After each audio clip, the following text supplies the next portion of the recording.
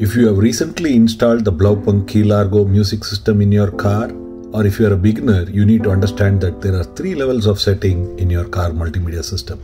First is the settings, which actually shows you the Android settings. Next is the car multimedia system settings.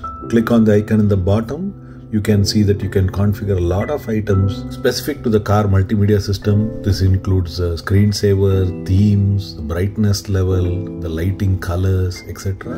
On the right is the system settings, which is the next level of settings that you need to understand. This is more the system settings at factory level. You can try the password 000 four zeros otherwise you can try 2468 on your key largo 980 and you should be very careful if you're changing these settings but uh, if you want to do any changes you can make the changes and then confirm. Just as in your mobile you can also swipe from top and you can see the car settings and settings here and you can make the changes.